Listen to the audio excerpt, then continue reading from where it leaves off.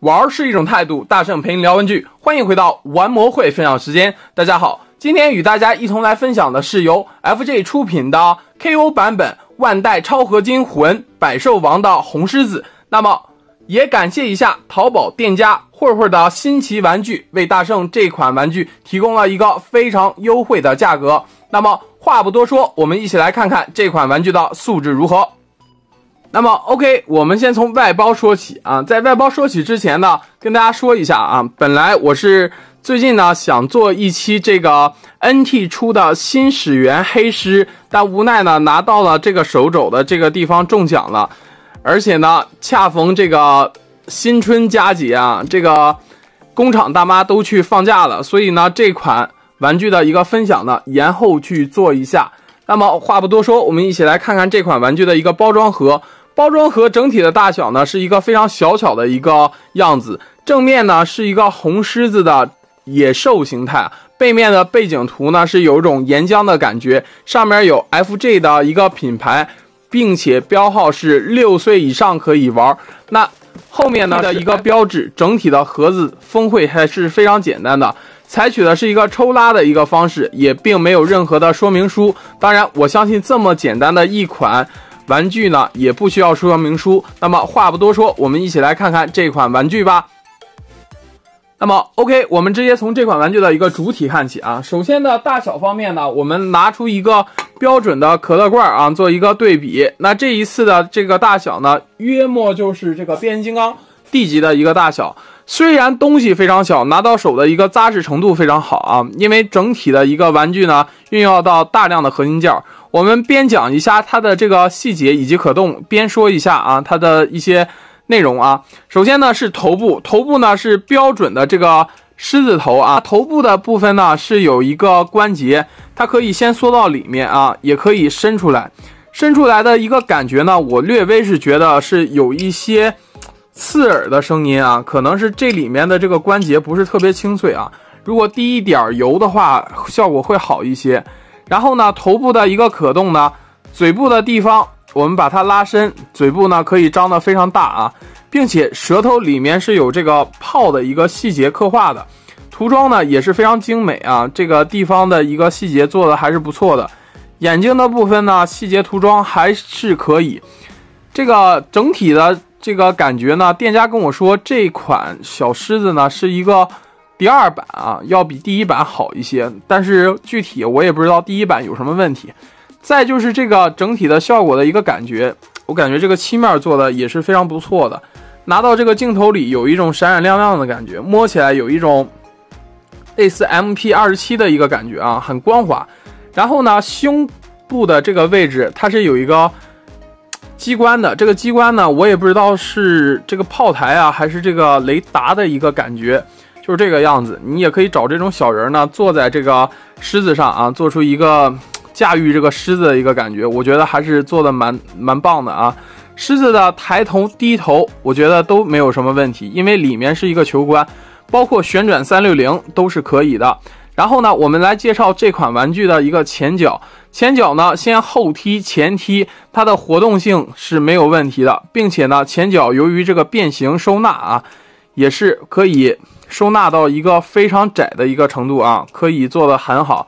然后呢，外轮廓的这个地方呢，是一个大面积电镀件，这个电镀的一个感觉吧，我觉得还是不错的啊，没有说特别多的瑕疵。但是拿近之后呢，也是有一些星星点点的一个感觉吧，就是这个样子。然后呢，腿部不光前踢后踢，把这个腿部呢向外拉伸之后，它里面是有一个大。块的球形关节，保证了它的活动性，这样它的活动性是更加的好啊，前台后台，而且呢，这种活动性啊，可以没有角度的一个摆啊，这一点呢，就是万代当时真的很牛逼的一个状态。然后就是腰部的这个地方，腰部呢是可以拉开的，拉开的地方呢，我们可以看到这个轴啊，这个轴明显的颜色和这个其他颜色是不一样的，这个地方呢是一个大块的合金件。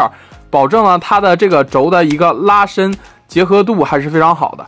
腰部的这个地方是有一个齿轮关节，虽然是有齿轮关节，但是这个声音呢，我觉得倒不是非常清楚。各位可以听一听，声音是有一点摩擦的声音，特别不是让人很舒服啊。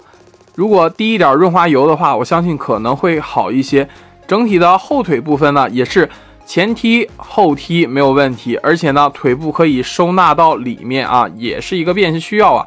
整体的这个电镀件做的也是非常好，而且呢，后腿也是球形关节，往外拉伸之后呢，活动性还是不错的啊。最后呢，就是这个尾巴的这个部分，这个尾巴还是非常短小可爱的。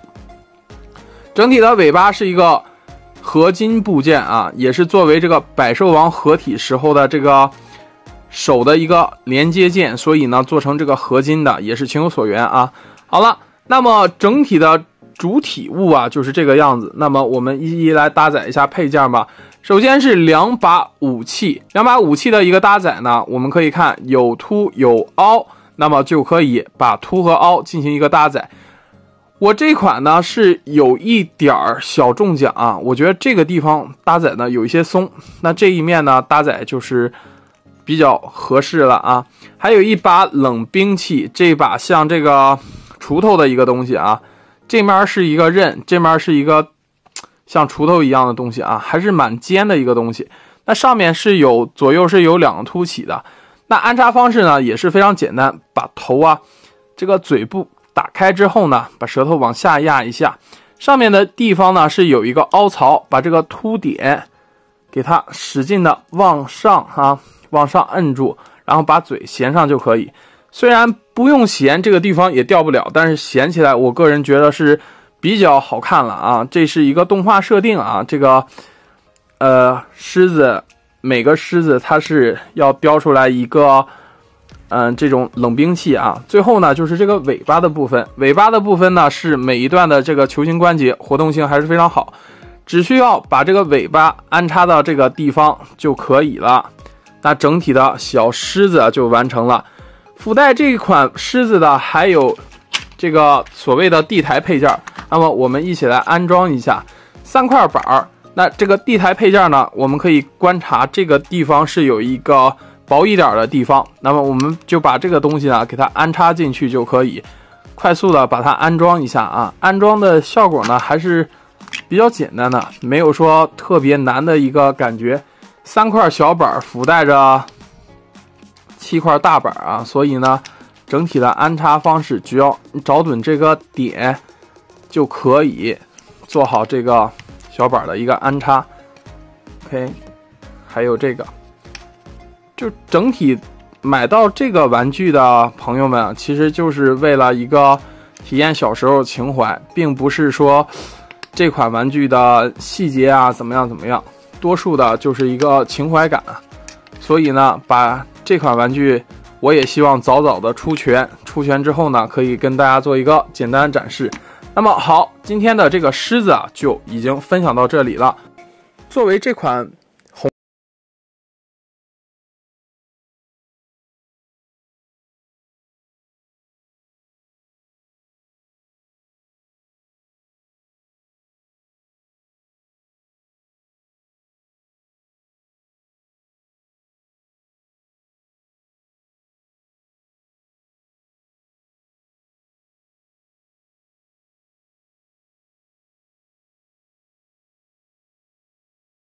扫一下屏幕下方的二维码，有什么事情可以与我在微博进行私聊。那么我们下期再见，拜拜。